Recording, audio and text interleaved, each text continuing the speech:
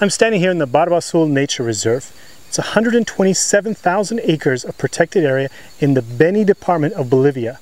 This area protects savanna habitat, but also motacú and forest islands, cerrado forest, and many different kinds of aquatic systems from a marsh to a year-long permanent river.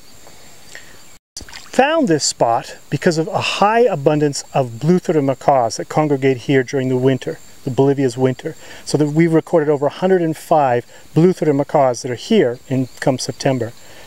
This area is a special place and what we've also found is there are other congregations including buff-breasted sandpipers that migrate south. We've recorded over a thousand individuals here last year in 2014. Also many threatened species that we're trying to help protect. Um, I've counted two days ago 32 Orinoco geese, which is a species that's considered threatened in many other countries in South America.